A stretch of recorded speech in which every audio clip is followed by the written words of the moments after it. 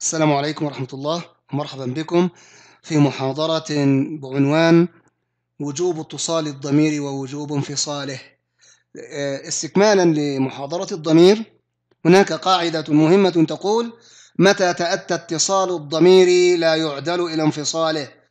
أو متى أمكن الإتيان بالضمير المتصل فلا يعدل إلى الضمير المنفصل؟ لماذا؟ لأن الغرض من وضع الضمير الاختصار والمتصل أكثر اختصارا وإيجازا من المنفصل. اللغة العربية هذه لغة إيجاز واختصار. فالضمير المتصل أكثر إيجازا واختصارا من الضمير المنفصل. فمتى أمكن أن يكون الضمير متصلا؟ لا تجعله منفصلا. تقول أكرمتك ولا تقول أكرمت إياك لأن الضمير هنا لإمكان الاتصال متى يكون الضمير واجب الاتصال يكون إذا وقع الضمير مباشرة بعد اسم أو فعل أو حرف. اسم تقول مثلا بعد اسم تقول كتابك. ولا تقول كتاب أنت. كتابه. ولا تقول كتاب هو. كتابي. ولا كتاب ولا تقول كتاب أنا. لأن الضمير وقع مباشرة بعد اسم. وإذا وقع بعد فعل مثلا تقول أكرمتك. أو أو أكرمك خالد. أكرمك خالد. ما ينفعش تقول أكرم أنت. أكرمه مش أكرم هو. أكرمني مش أكرم أنا. كذلك إذا وقع بعد حرف جر بعد حرف جر تقول إلي مش إلى أنا. إليه وليس إلى هو. إليك وليس إلى أنت. يبقى الضمير يكون واجب الاتصال إذا وقع مباشرة بعد اسم أو فعل أو حرف. والقاعدة النحوية تقول متى تأتى اتصال الضمير لا يعدل إلى انفصاله؟ يعني إذا وقع الضمير مباشرة بعد اسم أو فعل أو حرف فلا بد أن يكون متصلا ولا يكون منفصلا. طيب متى يكون الضمير واجب الانفصال؟ حالة, حالة معاكسة للحالة السابقة.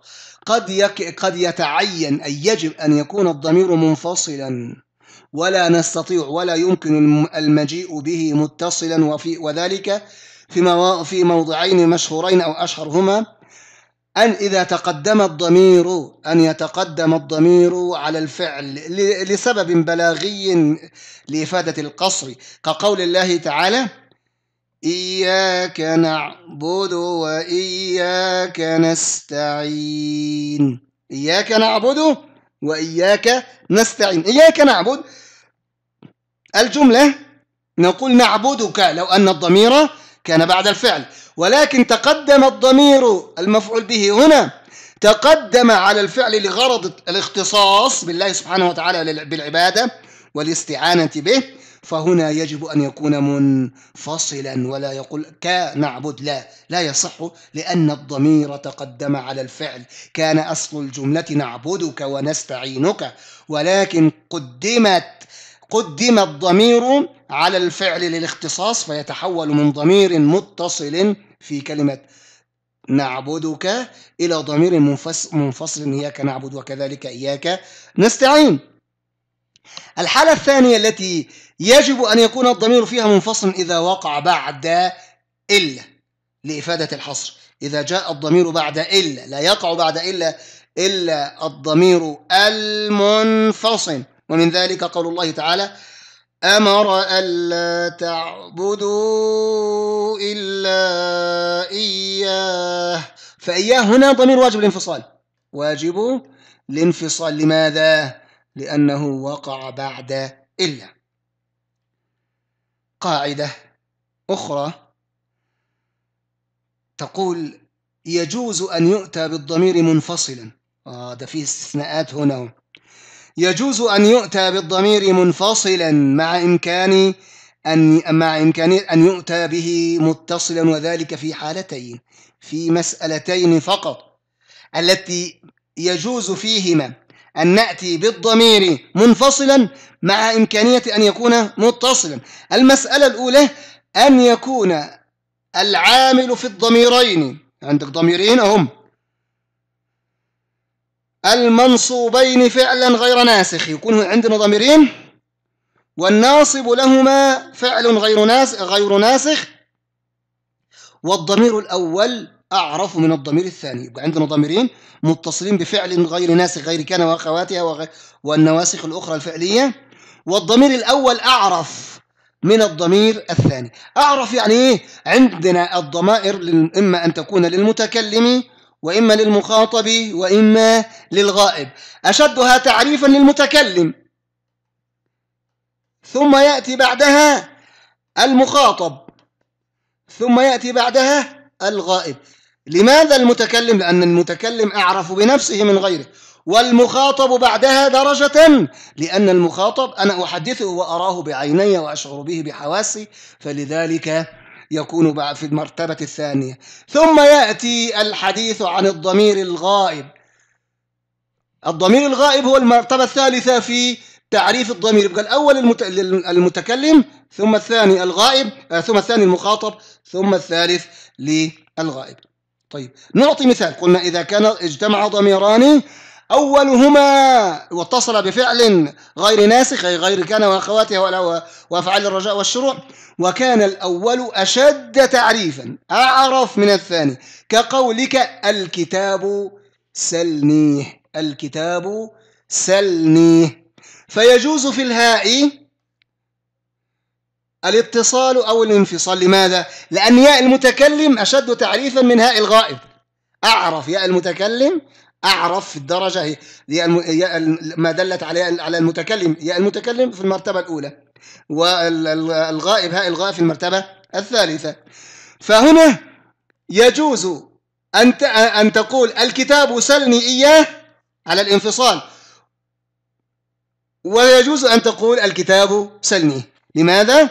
لأن ياء المتكلم أعرف وأشد تعريفا من هاء الغائب. طيب فإن لم يكن الضميران منصوبين. لا إذا كان لابد أن يكون في هذه الحالة السابقة من شروطها وقيودها أن يكون الضميران منصوبين. طب لو لم يكونا منصوبين وجب وصل الضمير بعامله إن كان فعلا. نحو النظام أحببته. يجب هنا لأن الضمير الأول في محل رفع اللي هو تاء الفاعل والضمير الثاني في محل إيه؟ نصب. هذا في محل رفع رفع آه، فاعل والهاء في محل نصب مفعول به. وإن كان الأول غير أعرف يعني أقل تعريفا من الثاني تعين الفصل نحو الكتاب أعطاه إياك زيد. الكتاب أعطاه إياك زيد. الهاء هنا في المرتبة الثالثة.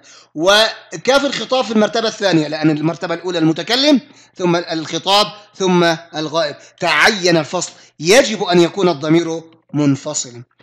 والاتجاه والاتصال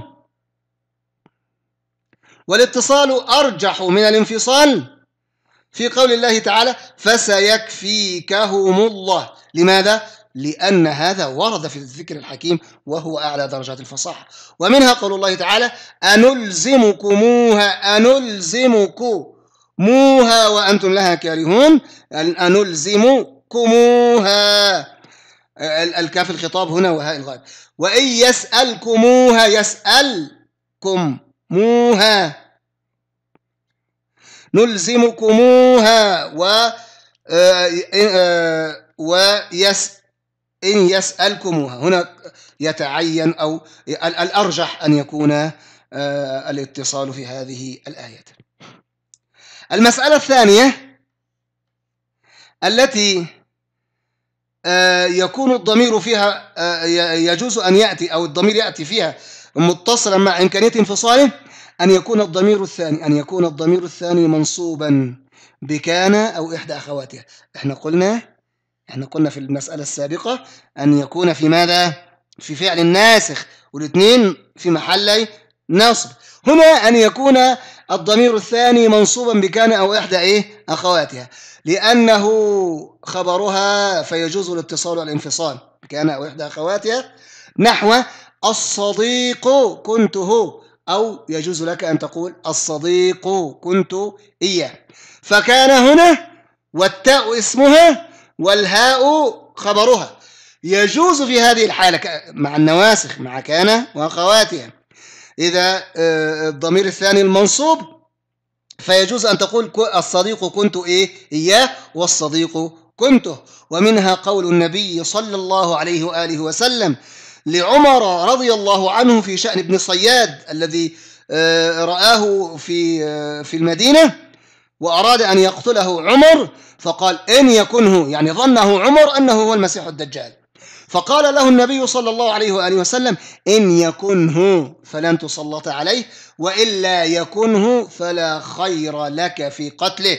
فهنا قال يكنه باتصال ماذا؟ باتصال الضمير ويجوز أن تقول إن يكن إياه.